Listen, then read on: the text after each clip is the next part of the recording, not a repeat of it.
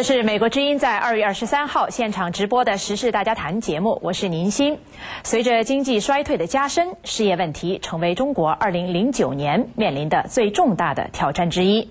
据统计，中国过去一年有超过两千万农民工失去工作，而正在寻找工作的大学毕业生也高达七八百万人。除了这两大群体之外，裁员风也把越来越多的人抛进失业大军。随着失业形势越来越紧迫，人们普遍关注强劲的失业浪潮是否会转化为严重的社会危机。那么，中国的失业问题为何如此严重？和中国的产业结构及经济体制有什么关系？中国解决就业困境的出路何在？今天的时事大家谈，我们就来探讨这些问题。我们显播现场邀请到的嘉宾是当代中国研究中心主任程晓农先生。程晓农先生长期从事有关中国政治体制和经济问题的研究，他最近一段时间也在跟踪中国的失业问题。节目进行当中，欢迎各位听众和观众拨打美国之音的免费长途电话参加今天的节目，提出问题或者就中国的失业问题发表您的看法。下面就是参加我们节目讨论的具体方式。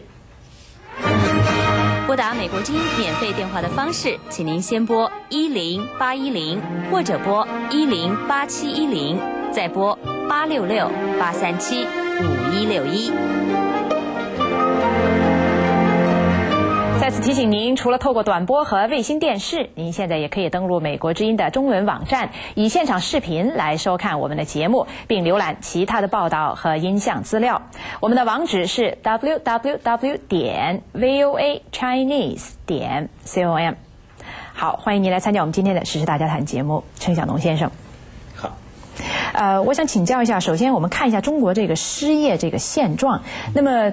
到处都有一些不同的数字，但是好像缺乏一个全景性的一个一个数字。那么您有没有这方面比较可靠的一些数据呢？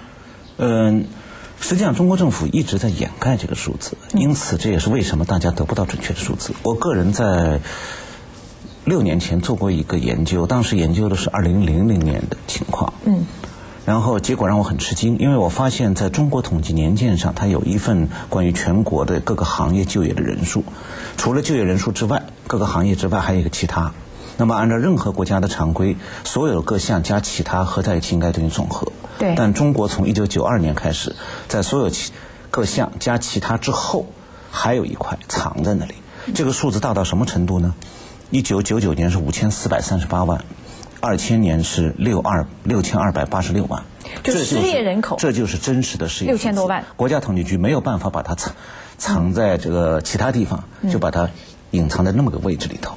那么根据这个计算呢，实际上我当时估计，二零零零年的时候，中国的城乡失业率已经达到百分之二十。嗯，总数呢就是刚才提到的，这个二零零年光是城市隐蔽的失业人口就已经是六千二百八十六万。这是二零零零年对国家统计局统计年鉴上计算出来的。嗯，那您有没有比如说二零零八年一个估计？我们知道这个数字显然不可能有一个非常准确的数字，但是有没有一个比如说大致的估计，或者根据经济成长率或者很难估计？呃，因为这个是本来是根据国家统计局的数据计算的。呃，大概的猜测是不下于一亿。不下于一，您说的是城镇人口，还不包括农村失业人口。因为按国家统计局的定义，所有农村人口只要是劳动力都算就业了。嗯，就不管他在家里有地可种或者不种地，或者他是在农民在外头流动打工，有没有找到工作，国家统计局一律记作就业人口。所以在国家统计局的定义里头。中国没有农民失业问题。嗯，可是我们知道，这个中国农民工的这个失业问题实际上是相当的严重。那么我这儿看到的数据呢，说是去年就是今年春节以后，有一千多万农民工涌入，光是珠三角地区，还不不是整个沿海，就是珠三角地区。但是当地的需求量只有大概不到两百万。对。那么这么多八百多万人，是不是就都算是失业人口？按照外面的这个标准来看，应该讲是。嗯。呃，现在。根据中央财经领导小组办公室副主任陈希文的今年年初的一个呃提供的资料呢，大概今年他们估计农民工当中失业的人数是两千多万，整个农民工在外头打工的农民工是一亿三千万，那么其中有两千多万是失业的。这个数据呢，应该讲是还是比较早的数据，因为现在农民工已经出现了二次流动，嗯，就是春节以后，很多人马上就动身赶到他们原来熟悉的地区找工作，发现找不到，然后又开始第二次流动往别的地方，甚至出现了全国性大流动。比方讲，广东很多农民工找不到工作以后，开始往新疆走，嗯，但并不保证他们到新疆还有工作。对，如果还找不到工作，就可能变成三次、四次，最后把钱用光以后，就彻底成了流民。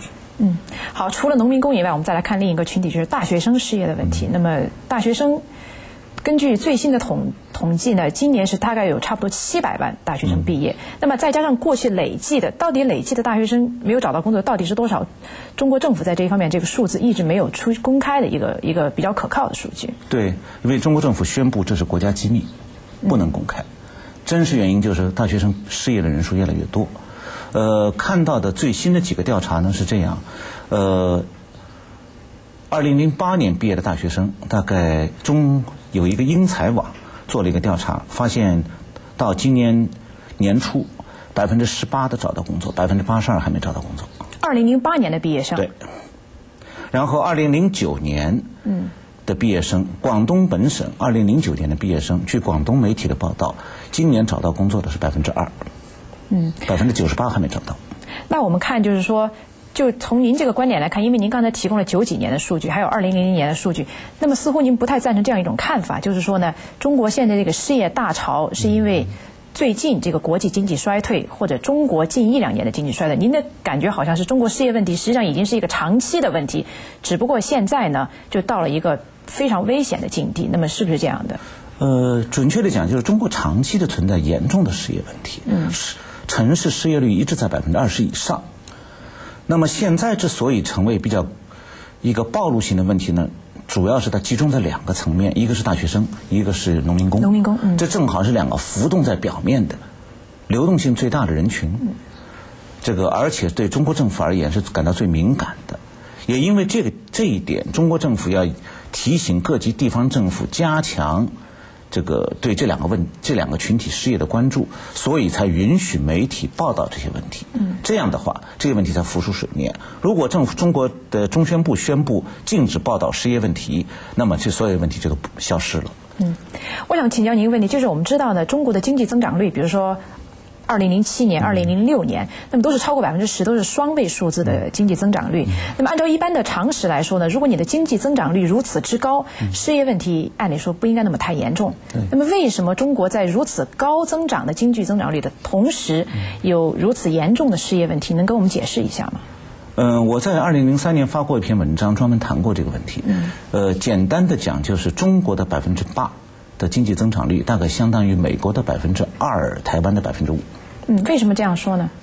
这个问题经济学上讲起来比较复杂。如果要概要的讲，就是中国由于冗员、效率等等一系列问题，中国的企业只有在经济增长达到百分之八的时候才能盈利。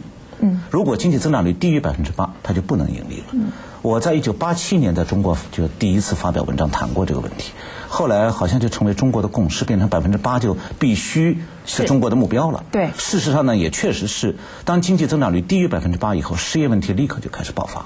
嗯，那中国的这个官方自己也确实说，就是说，一般说来持平在百分之八，那么就业问题不会那么太严重。对。可是今年这个温家宝总理也说了，中国是力保百分之八的经济增长率。那么从目前的情况来看，您认为这个目标是不是现实？呃，这也这个问题也要看就是。中宣部在这个问题上插手多大？国家统计局作假的程度有多大？如果一切都老老实实，那么今年应该是达不到百分之八的。现在所有的迹象都显示，这个目标做不到。好，我们再来看一下大学生的问题，因为我们说，就是说，一般认为中国就是一个国家的经济增长率高，那么对于高科技人才或者受到高等教育的人才的需求会比较大。我想问的一个问题就是，很多人也许脑子都在想，为什么中国社会如此难以消化这个大学生？刚才就像您提到的，二零零八年，如果是大学毕业生一大半以上的人都找不到工作，那么这个跟中国的产业结构或者经济现状有什么关系？为什么这些大学生？得不到社会的消化。我想这个问题其实中国大学生最有体会。嗯，当他们找工作的时候，他们会发现他们找的都是低端的工作。原因是中国的劳动力市场上没有多少真正需要新的大学生去当工程师，去当这个技术开发和这个。